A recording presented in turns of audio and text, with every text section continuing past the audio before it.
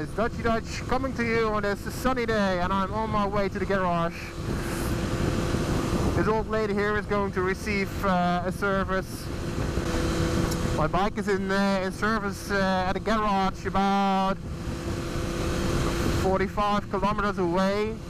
Uh, you're probably thinking, well, that's uh, quite a distance, but it's the place where I bought this bike and in 2008 and I'm very very satisfied with this uh, with this garage he's offering uh, second-hand bikes.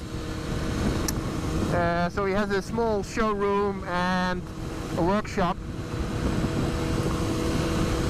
But this guy is really over the years I'm a loyal customer so that also probably has something to do with it. But he's always uh, really uh, helpful.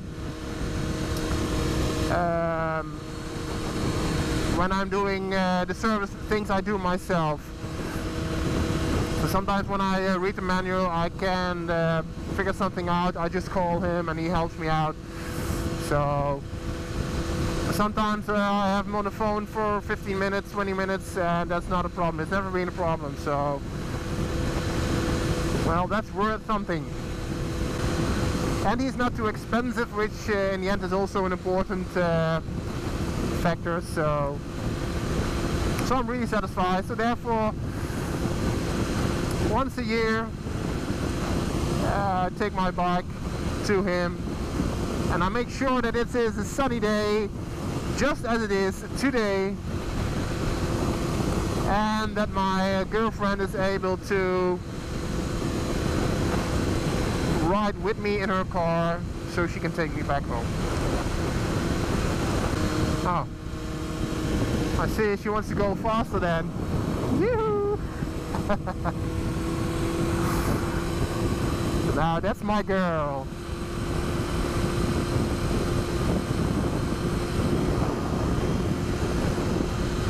She doesn't want to be visible on the camera, I can understand it.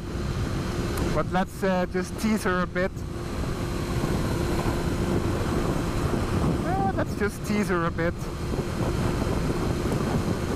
Uh, let's see, there's my... Oh, she's...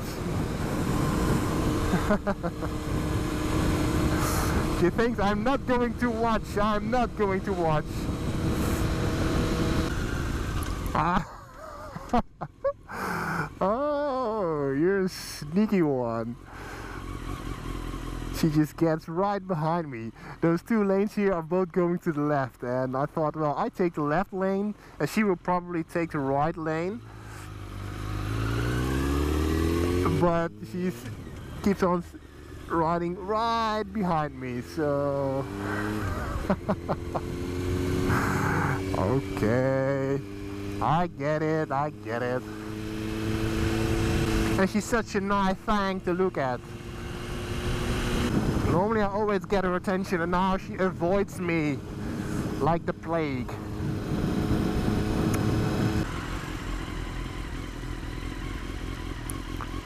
Okay, Grandpa, come on. Oh. okay, what are we doing here? Thank you. I could honk the horn, but it's grandpa and grandma, so let's stay cool here. And there are already enough people who honk their horns far too easy, so how oh, you got this kind of weather? Well, why make all this fuss? Just enjoy the sun, enjoy the ride and have a good time. I'm giving you pearls here, guys. I'm giving you pearls here. So, we're here at the garage.